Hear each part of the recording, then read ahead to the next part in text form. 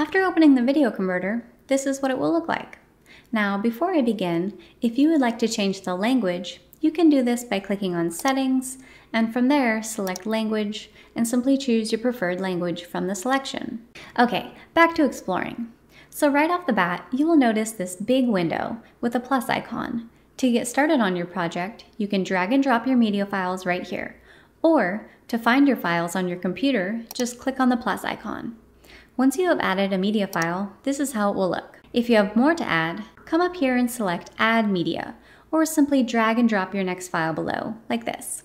Okay, so now with your media files brought in, you basically have three options. You can preview your file, you can do some light editing, or if you prefer, skip all that and begin converting immediately.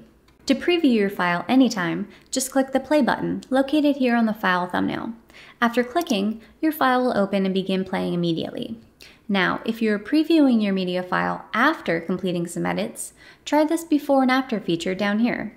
It lets you quickly compare your original file to your edited file by flipping back and forth between them. If at any point you want to save a snapshot from your video, just click the camera icon over here. This preview option is a really convenient way to review and decide if your media file needs any last minute edits.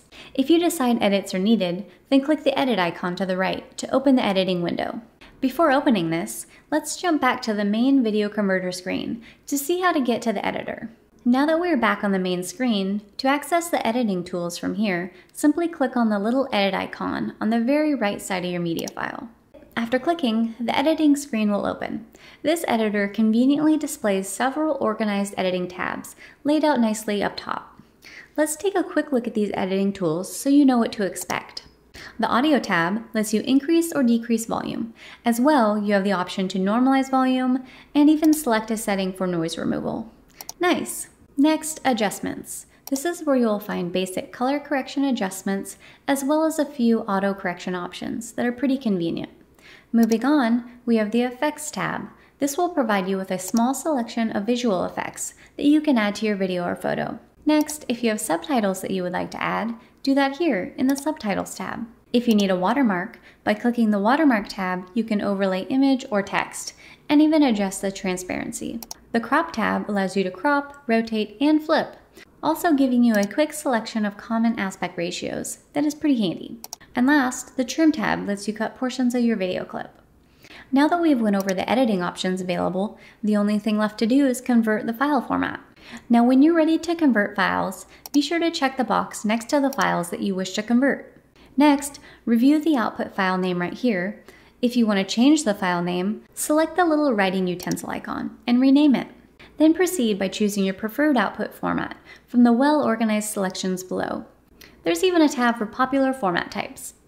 If you're converting your file from a device that you have on hand, just plug it into your computer and use the Find Device feature. This intuitive feature will attempt to identify the most suitable format for your device. If you're still not sure of the correct format, try the search bar. It may have just the answer you're looking for. One last thing worth noting is that this converter comes with a great deal of helpful content under the Settings tab. Here you'll find things like a user manual, a link to frequently asked questions, customer support, and even Movavi Social, which has links to their Facebook, Instagram, and more. Now once you've picked an output file format, be sure to select where you want your files saved and whether or not you want the files merged. Finally, click Convert and you're done. Thanks for watching.